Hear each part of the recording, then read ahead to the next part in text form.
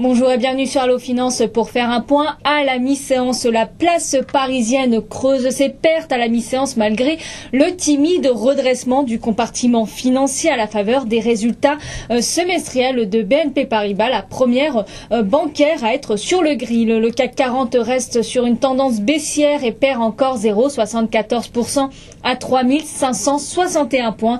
Euh, les marchés demeurent sous pression, nerveux, alors que la question de la dette américaine reste encore encore euh, bien ancré dans tous les esprits. Tant que l'accord scellé dimanche ne sera pas entériné par le Sénat américain, après la Chambre basse hier, euh, le flou artistique restera encore d'actualité. Les opérateurs sont par ailleurs en proie à de nombreux doutes euh, quant à la solidité de la santé de la première économie mondiale après la publication la veille d'un ISM manufacturier très décevant et qui fait suite à un PIB au titre du premier trimestre aux États-Unis plutôt faiblard. Bref, rien ne va plus outre-Atlantique. Le spectre d'une récession aux États-Unis ressort également euh, dans les taux obligataires. Les CDS américains ont encore grimpé de 3 points de base. L'Europe est également logée à la même enseigne. Les rendements italiens euh, et euh, espagnols obligataires à 10 ans repartent à la hausse sur de nouvelles craintes de contagion de la dette, de la crise de la dette souveraine européenne. Sur les autres places européennes, même frilosité pardon, perceptible à Francfort, le DAX cède 0,75% à 6902 points et le FTSE à Londres perd 0,68% à 5735 points. Euh, sur le front macroéconomique, les prêts à la production sont restés stables entre mai et juin en, zone euro euh, contre une hausse de 0,1% anticipée par les économistes.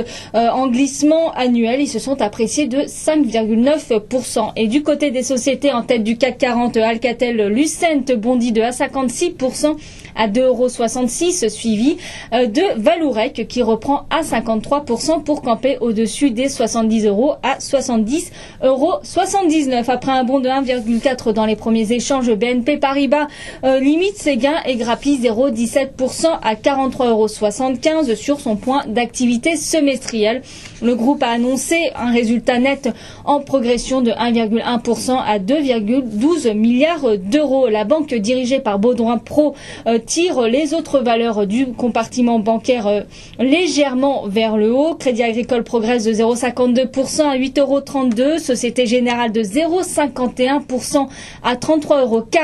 Natixis de 0,45% à 3,12 euros. Michelin reste euh, dans les petits papiers de Deutsche Bank qui est encore acheteur du dossier avec un objectif de cours de 90 euros. Le courtier estime que le cours on se traite en 30% en deçà de sa moyenne observée au cours des dix euh, dernières années. Le titre du spécialiste des pneumatiques est quasi stable à 56,21 euros.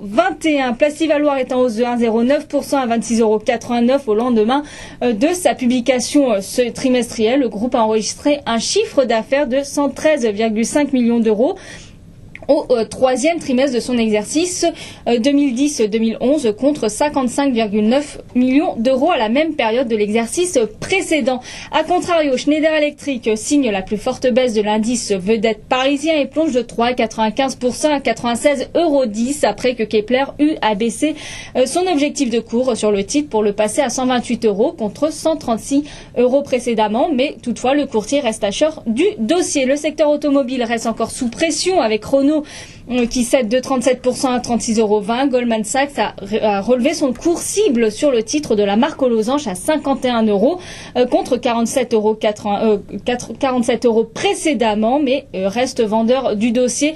Peugeot, pour sa part, abandonne 94% à 25 euros. Arkema s'effondre de 3,91% à 63,71 euros en dépit de comptes de bonne facture. Le chimiste a enregistré un bond de 55% de son résultat net.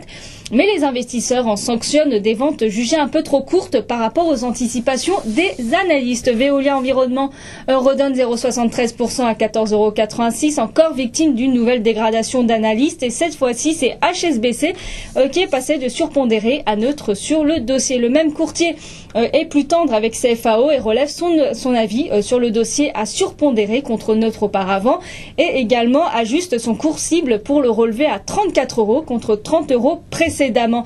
Le titre du distributeur spécialisé exerçant en Afrique est en baisse de 0,17% à 29,14 euros. Sur le marché d'échange, l'euro perd encore du terrain face au dollar et 7,051% à 1,4181 et perd 0,73% à 109,65 face au yen. Le billet vert est stable euh, à 77,31 face à la monnaie nippone. Du côté du baril de pétrole, le WTI abandonne 0,51% euh, à 94 dollars 0,5 et un Brent qui est en baisse de 0,89% euh, à 116 dollars 21 l'once d'or profite euh, à nouveau de la tension qui règne sur les marchés pour s'octroyer 0,27% à 1624,70 dollars l'once. Voilà ce qu'on peut dire à la mi-séance. À très bientôt sur Allo Finance.